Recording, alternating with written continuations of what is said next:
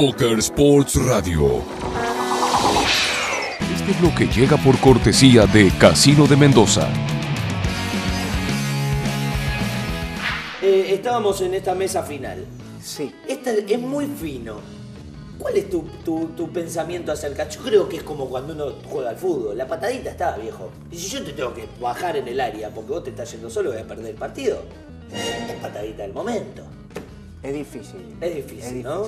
Es difícil. Y ahora, vos hablabas de Adrián con y Pelu, que son dos personas a las cuales uno aprecia, tiene Sí, relación, sí, amigos sí. de la casa. Sí, sí, sí. Si esa misma situación se te da con dos argentinos X, pero en Estados Unidos, Que no los conozco. que no los conoces, No, seamos es- fuera de la copa. Es una, una persona más. Bien.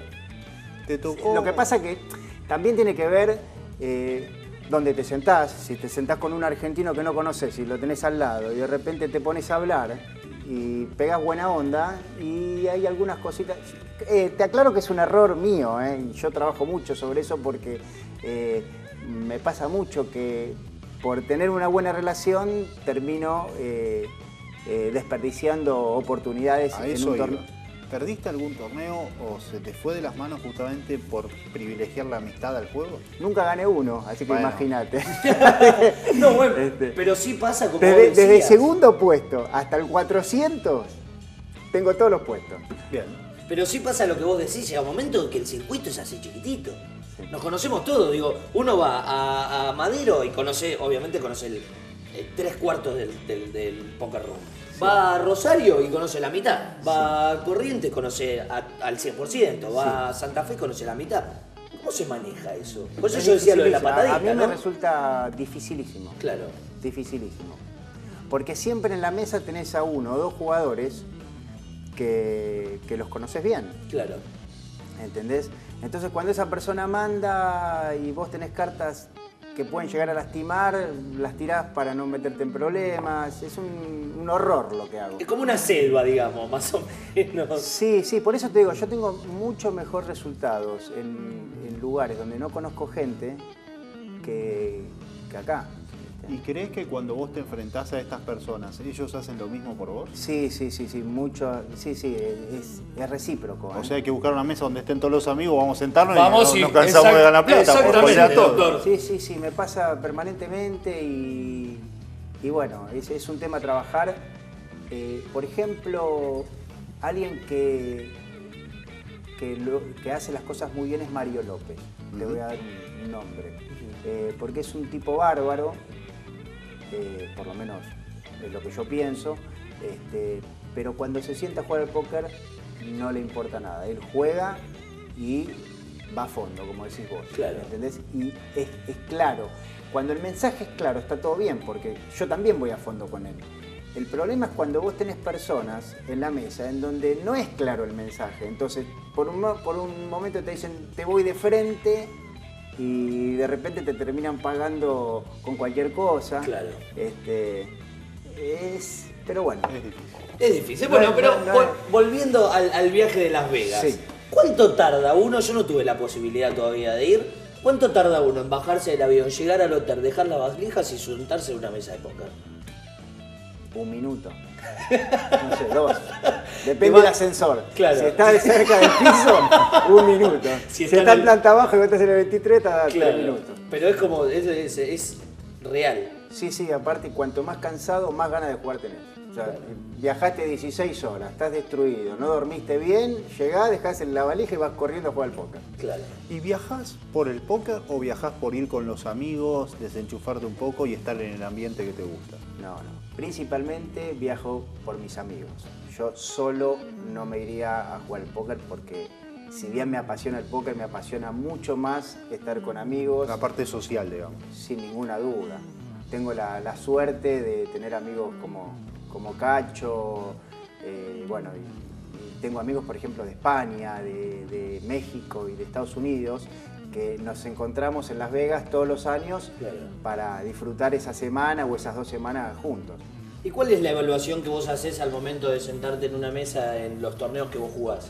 Digamos, el baín, la cantidad de gente, o porque te gusta, hay algunos que dicen, no, realmente me gusta la estructura, o no sé, baín bajo. ¿Cuáles son las los diferentes ítems que tenés en cuenta al momento de hacer eh, el- el- digamos, de planear el viaje a Las Vegas? Mirá, tiene que ver también si vos estás muy cansado, Claro. ¿me entendés? O si, o- o si estás con todas las pilas. Si, si estás más o menos, te jugás un torneo de ciento y pico de personas. Claro.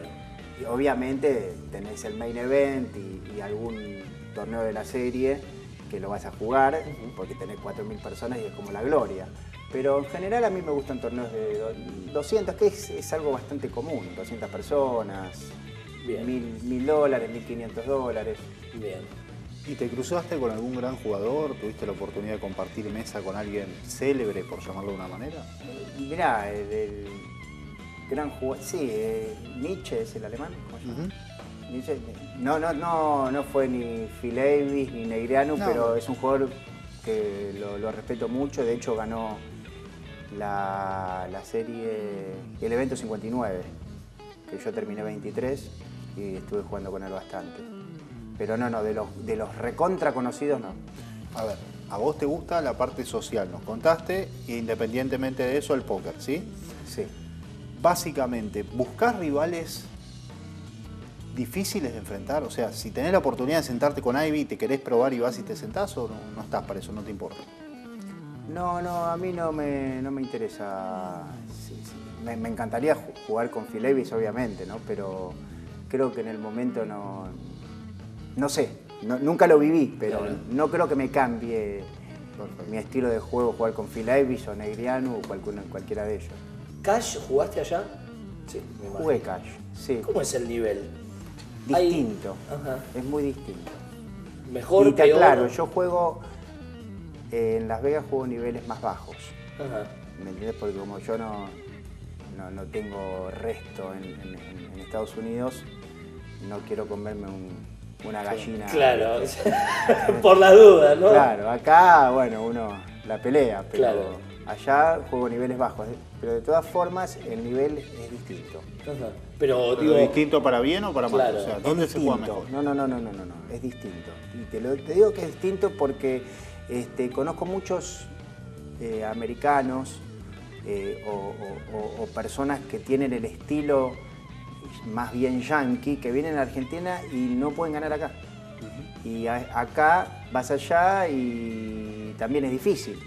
Allá lo- lo- se tribetea, son raíces más chiquititos.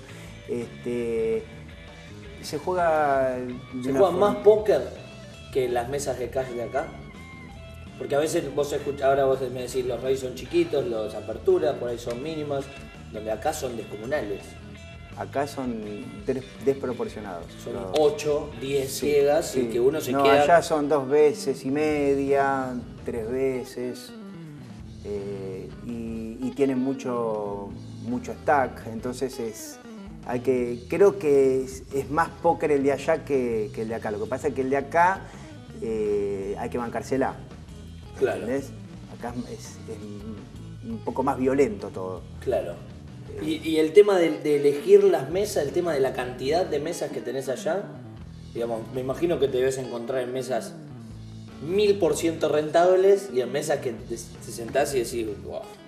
Sí, y tiene que ver con los hoteles también. Hay como rumores, viste, que vas en Las Vegas y empezás a hablar con uno y con otro y dices, mira, en el área eh, son malísimos.